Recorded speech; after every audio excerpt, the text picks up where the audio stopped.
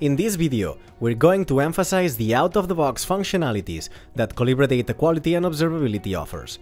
I want to highlight that ultimately, the real value here is that it's fast to set up, thanks to the step-by-step -step wizard, it gives you the flexibility to customize how you want to run it, and we even support the execution of jobs in pushdown mode.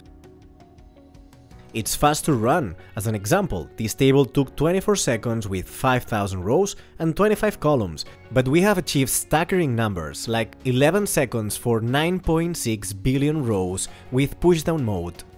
And finally, it's easy to come here and see the insights that the tool is highlighting, all this with the flexibility to operate using our APIs so you can really adapt your use case. I'm not going into the details as we have separate videos for that, but out of the box, what you will see is these different tabs showing the results of different quality detections. These are generated with no human intervention. Now let me open the AR, which stands for Adaptive Rules. Within the time of the run, the tool is able to profile the data and generate all these rules. As we are exposing more data, more variances, more limits, it will detect and alert the user of new anomalies and the user can validate them, resolve them, or dismiss them as false alerts. With that minor human validation, the tool will learn and recalibrate for the next runs. Another feature that's important to highlight is that out of the box we include data discovery.